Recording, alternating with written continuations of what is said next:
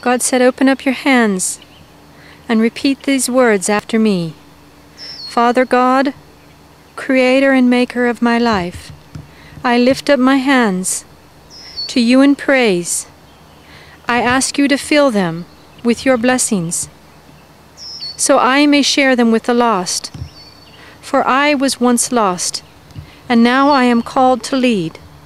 Lead those who are in the darkness, who are lost, and share your blessings with them.